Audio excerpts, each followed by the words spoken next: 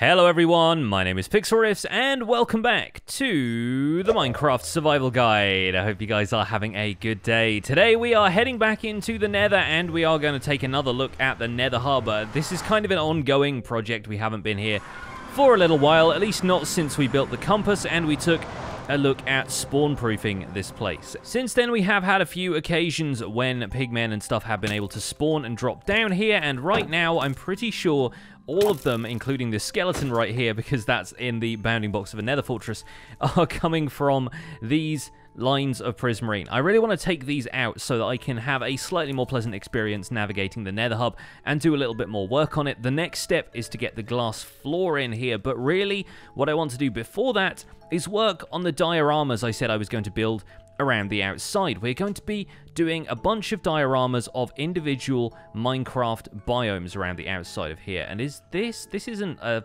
flat floor, right? Yeah, okay, that's still a half block. That's still a half block that's got carpet on it. Okay, I was a little bit confused there, but it's fine. So what I want to do around the outside here is a set of dioramas representing different Minecraft biomes.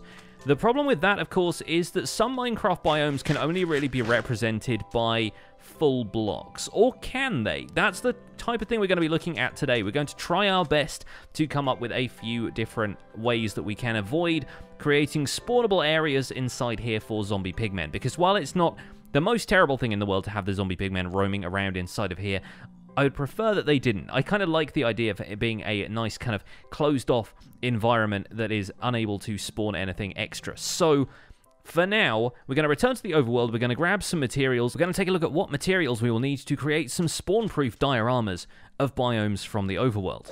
So as we know, it's going to be best to spawn-proof stuff with blocks which are not full blocks or don't have at least a top half surface that zombie pigmen could potentially spawn on. So we're going to be looking at making stuff out of slabs. We're going to be using trapdoors and things like that. Buttons, maybe if we want to have those covering a surface, although making a natural scene using a bunch of buttons everywhere would kind of be a bit of a pain. We could potentially use some other things though, and...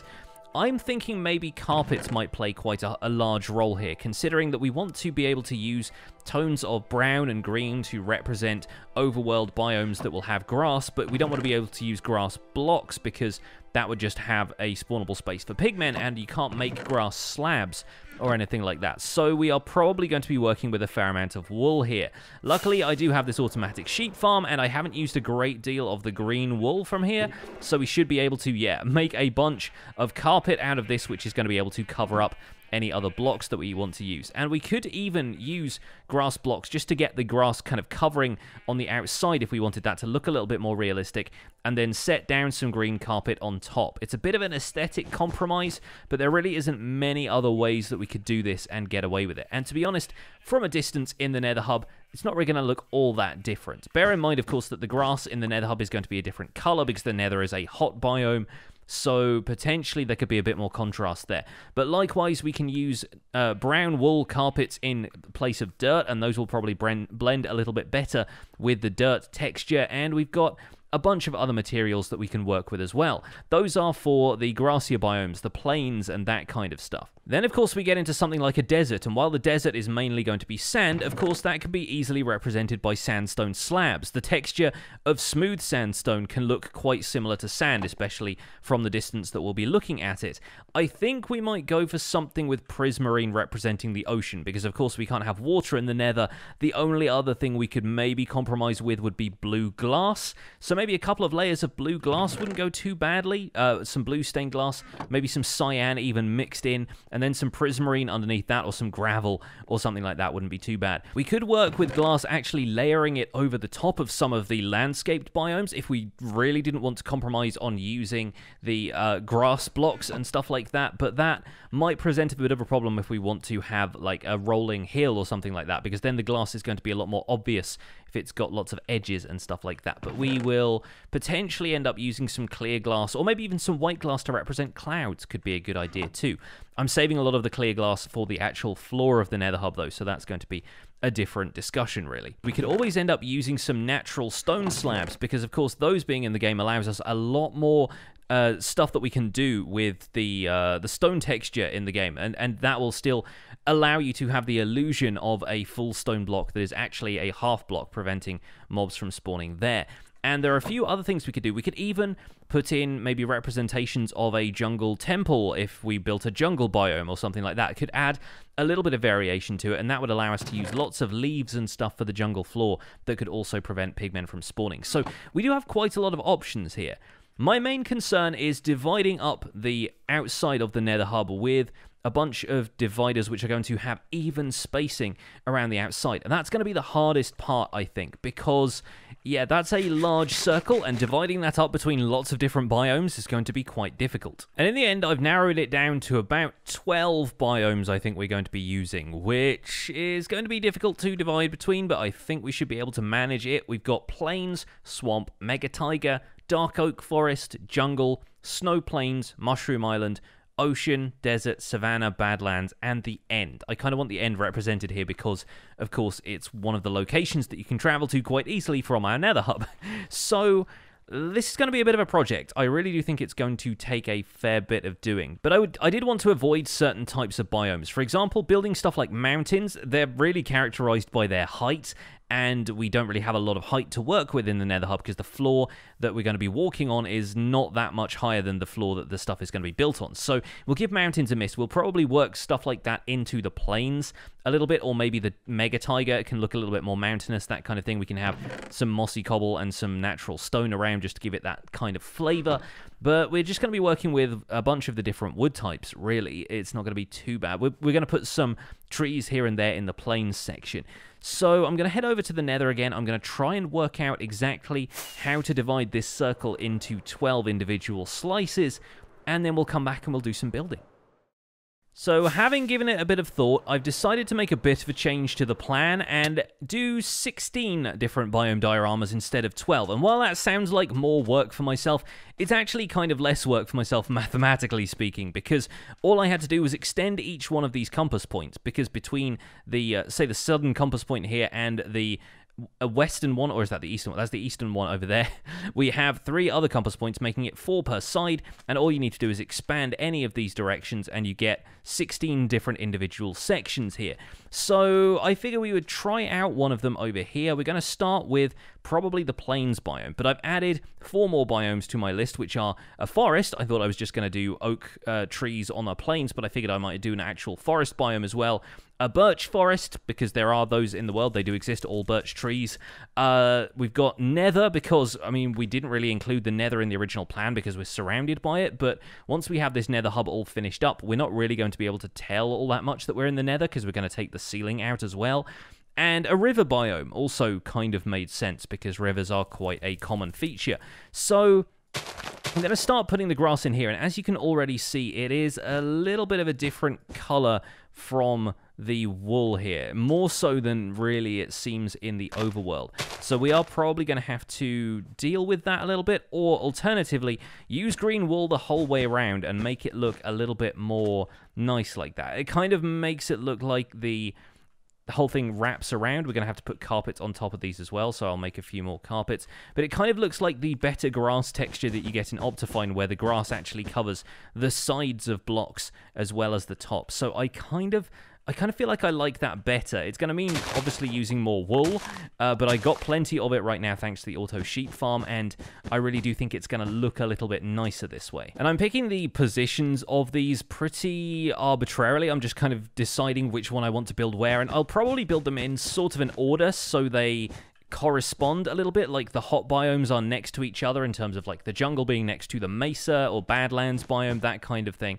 And i'm going to do them going sort of around in a circle maybe have an ocean you know, a representation of an ocean biome, at least separating one or two of them, and then looping back around to the uh, the cold biomes on the opposite side. And we're not really going to have them tied to a specific location in the Nether Hub. Originally, I thought, yeah, that'd be a great idea. I could do like an, a mushroom island in the direction of the mushroom island that I that I've scouted out, but really. I don't think it really makes all that much sense to do that because there are planes everywhere. Like, where would the nether and the end go? There's not really going to be a great deal of logic to placing them in any of these areas in particular. So, I, I feel like I can just be a little bit more kind of random with it. I, I will pick locations that I want to build stuff and I will build stuff there. As long as it makes some sort of sense, you're going to be able to find any biome in basically every direction you travel if you travel far enough. Thinking about it, we don't actually have to use wool blocks for the back section here. I'm using them now because I've got loads of them, but we could just fill the rest of this in with grass blocks or dirt or something and nobody would really know the difference because once we get past these sections, you're not really going to be able to see any of the block behind the bit that we're looking at here. And we need to start putting some trees in. Now, the problem with this of course, is that once we get up to a certain height, we're really not going to have that much room to work with. So I think we'll probably start a tree there, and there'll be slightly more kind of cartoony representations of trees. There might be something a little bit more like this, which is going to be, yeah, a little bit of a, a small tree for our plains biome here, but from above it's going to look a little bit cute and cartoony, and you'll get the general idea, right? This is meant to be a plains biome. It's also kind of a shame that the oak leaves don't look all that great in the nether, but once again, we could use birch leaves instead, and while they wouldn't be accurate for the type of tree, they don't change their color in any of the different biomes. So if we go and grab some birch leaves, we might actually have some nicer, greener looking leaves there. You know what? Yeah, with birch leaves, that really does look a lot better, doesn't it? I like that a lot. We can uh, maybe make a couple more of these as we go, but I also want to start a kind of rolling hill effect here as well. So we can maybe bring that out a couple of blocks here and there.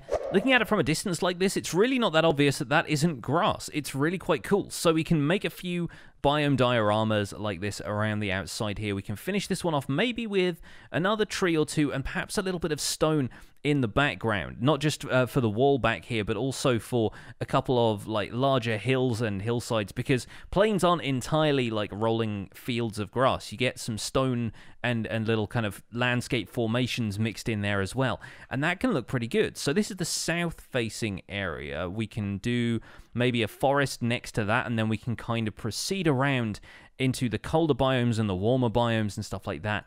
Perfect. Yeah, no, I think this is going to work out super well. It occurs to me that we could even use some features like farmland, which is not a full block and cannot really be spawned upon. And uh, let's throw that sandstone slab out there. We can potentially use stuff like that, or maybe even grass path, actually, to give it a little bit more of a plains flavor and make it look like the the biome has almost been lived in a little bit, and that will lend a little bit more realism to it, I think. So, yeah, potentially we could do some stuff like that. Use farmland and, and grass path. Maybe a few, I, I brought some cobblestone wall and some stone slabs and mossy stone slabs that we can potentially use there as well. Let's let's see how some of that looks. And this now might be one of the cutest things I've ever built. I actually really like the way the wool looks, which is not something I thought I would say. I was a little bit worried that the wool was going to look too artificial the entire time, but I think having a bit of farmland in there with the wheat slowly growing, some of it grown artificially with bone meal, but the rest of it slowly growing up is actually making this really, really great. So I've hidden a bit of lighting, as you can see a couple of smoke particles drifting up from some of these carpets. There's a couple of torches under there. Of course, we could replace those with jack-o'-lanterns or sea lanterns or glowstone or anything like that if we didn't want those particles, but I'm not that worried about those. And in the meantime, I have covered every possible square inch I can with carpet just to make sure that we don't end up with any unwanted mob spawns. I have left them off the top layer here and left a couple of blocks flat along the top because this is where we're going to start putting in the glass. And I don't know for certain if I want to go with clear glass, especially because we have this streaky texture to it. So I might go away and make some of this into light grey, which is going to have a much more subtle streak to it. We'll end up tinting some of the stuff in here an unwanted colour, but I think that's only to be expected. And if it's the nether, it's going to look a little bit smoky. That's probably fine anyway. So yeah, I reckon we'll go away and make some uh, light grey glass and we'll cover this whole thing over. Of course, if we wanted to, considering that there are 16 segments here and 16 colors in Minecraft, we could always end up color coding some of these segments a little bit. So having this be a lighter green or something and then moving around the circle so that the Mushroom Island one was magenta, the Nether one was red, for example. We could do all kinds of stuff like that. I'm not going to go quite so rainbow happy in the uh, in the Nether, but uh, it's always a possibility that we could dye the different colors of glass in future. And you could go as colorful as you like with your own Nether hub. That would be a really cool thing to see. But I think we can probably manage to get a few more of these little biome dioramas done today. I'm not going to say we'll finish all 16 because that's a heck of a job for a single video, but in the meantime, I reckon we can get some of that stuff done. So how about we do it in the form of a time lapse?